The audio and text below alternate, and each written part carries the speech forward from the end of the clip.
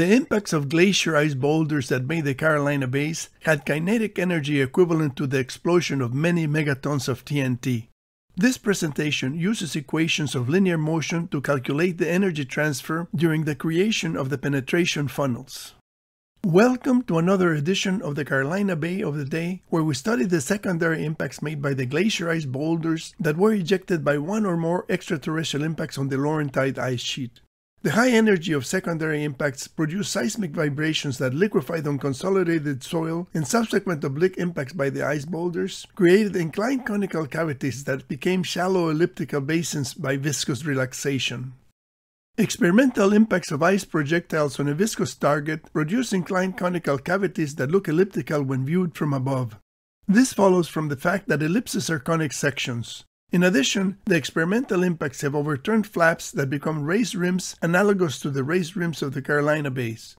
The raised rims are made by compressive forces produced by the penetration of the projectile into the medium and by the debris that is ejected ballistically during crater formation. The mechanism by which the elliptical impact basins are created is illustrated in this experiment. The medium is parted by the penetration of the projectile, and some of the mud ejected is still flying even after the ice projectile has come to rest. The sizes of the projectiles that made the Carolina Bays can be calculated with a program by Professor J. Melosh and Ross Beyer that uses power law scaling equations correlating the energy of an impact with crater size. The calculator requires as input the crater diameter, the impact velocity, the impact angle, and the type of projectile and target material. The scaling laws applied by the program are derived from craters made by nuclear explosions and detonation of dynamite on various types of terrain. The calculation for a Carolina Bay with a diameter of 1 km made by an ice projectile with a velocity of 3 km per second on loose sand produces three estimates for the size of the ice projectiles that range from 179 meters to 261 meters in diameter. The pi scaling method, which is the preferred method, predicts a projectile diameter of 180 meters. A nice projectile with a diameter of 180 meters at a speed of 3 kilometers per second has kinetic energy equivalent to 3 megatons of TNT. Another interesting number produced by the projectile size calculator is a crater formation time. A Carolina Bay with a diameter of 1 kilometer would have formed in 6.56 seconds. The crater creation time is really fast, and it means that the formation of the conical cavities and the viscous relaxation that reduced them to shallow elliptical basins probably took no more than 15 seconds. The calculator by Melosh and Beyer assumes that the crater is circular. In order to use it for Carolina Bays, it is necessary to map the area of an ellipse to the area of a circle to obtain the crater diameter for use in the calculator. The projectile sizes produced by the calculator are approximately one-fifth of the major axis of an elliptical basin. This coincides with the experimental model.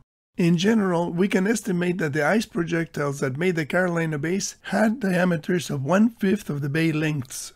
Using projectile diameters that are one-fifth of the major axis of the Carolina Bay produces results that are in the same range as the impact calculator. Although it is sufficient to have a program that calculates the final result of an impact, it is also interesting to study the detailed mechanism by which an impact basin forms. Today we're going to calculate the transfer of energy for an ice projectile with a diameter of 200 meters as it penetrates a viscous target with an initial velocity of 3000 meters per second. The projectile has to travel approximately 500 meters before stopping at the apex of the conical cavity. Using the formula for the volume of a sphere, we calculate that an ice sphere with a diameter of 200 meters has a volume of 4.1 million cubic meters. Multiplying by the density of ice of 917 kilograms per cubic meter, we find that the mass of the ice boulder is more than 3.8 billion kilograms. The kinetic energy in joules is obtained by multiplying one half of the mass times the velocity in meters squared. The kinetic energy of a 200 meter ice projectile traveling at 3000 meters per second is equivalent to the explosive power of 4.1 megatons of TNT, which corresponds to an earthquake of magnitude 7.89. We want to know the speed and position of the ice projectile at every point from the time when it contacts the surface of the target until it stops at the apex of the conical cavity. For this, we can use the equations of linear motion that describe the velocity and position of an object. We will apply these equations to an ice projectile with an initial velocity of 3000 meters per second that hits a viscous target and comes to stop after traveling a distance of 500 meters. First, we take the formula for velocity and solve for acceleration, which is equal to the final velocity minus the initial velocity divided by time. Remember this equation for acceleration, we will reference it later. Next, we substitute the acceleration in the equation for position x0 is the initial position, which corresponds to the projectile as it contacts the target, and vf is the final velocity, which is 0 when the projectile rests at the vertex of the cavity after traveling through the viscous medium. The final position, xf, is one half of the initial velocity multiplied by the time of the transit. The time required for the projectile to come to a stop is two times the final position divided by the initial velocity. The initial velocity v0 is 3000 meters per second and the final position xf is 500 meters, so the projectile comes to rest after one third of a second. That is really fast. We need to keep in mind that this is the time for the projectile to penetrate the target and not the time to make the conical cavity, which the impact calculator estimated to be about 7 seconds. This situation is similar to when a bat hits a baseball and all the energy gets transferred during the brief time that the ball contacts the bat, but then the ball keeps going and going for many more seconds. In the same way, the target material continues moving to form a conical cavity for several seconds after the projectile has passed. Now that we know the time of the trajectory, we can calculate the acceleration using the formula that we derived from the velocity equation. Since the final velocity of the projectile is zero and the time of transit is one third of a second, the acceleration is minus 9000. The negative sign indicates that this is deceleration or stopping power. The acceleration of Earth's gravity is 9.81 meters per second squared, so the deceleration of the projectile is equivalent to 917 times the force of gravity. This brings up the question, why doesn't the ice projectile disintegrate?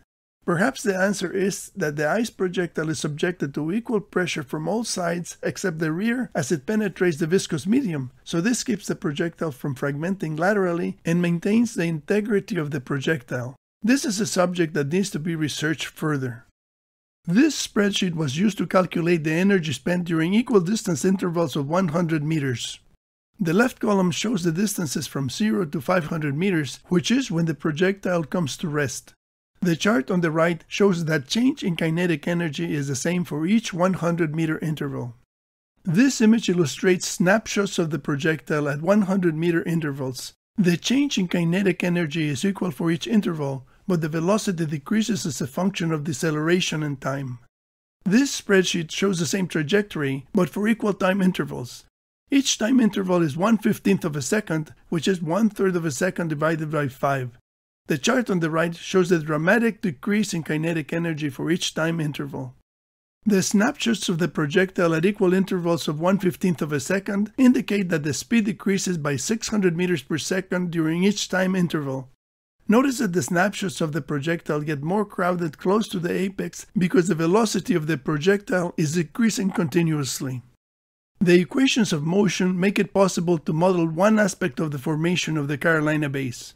Building a numerical model or hydrocode simulation would be much more complex, especially when considering the viscous relaxation that follows the creation of the penetration funnel.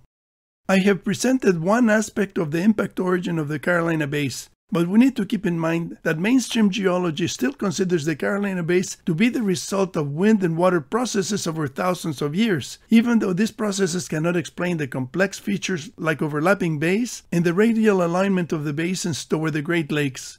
Most proponents of gradualistic terrestrial mechanisms rely on the diversity of dates of the terrain on which the Carolina bays are found to argue that the bays could not have formed contemporaneously. Some geologists propose that the Carolina bays are thermokarst lakes, but this does not make sense for places like Georgia where the ground never froze even during the last glacial maximum. Another unusual characteristic of the Carolina Bays in Georgia is that many of them are on hilltops 130 meters above sea level, whereas thermokarst lakes are usually found on low ground along fluvial channels. I hesitated to make this presentation into a YouTube video because it has many technical details and a lot of math and physics. I actually made all these calculations for myself to find out more about the impacts that form the Carolina Bays, but I am sharing this on YouTube hoping that someone will find it interesting. These videos about the Carolina Bays will not make you laugh like the viral cat videos, but instead they may stress your brain and give you nightmares about the enormous power of extraterrestrial impacts. Thank you for joining me in the investigation of the Carolina Bays and the Younger Dryas Cataclysm. I will continue to examine the Carolina Bays one bay at a time. My book about the Carolina Bays is available at Amazon. Please subscribe to my YouTube channel to be notified of future videos about the Carolina Bays.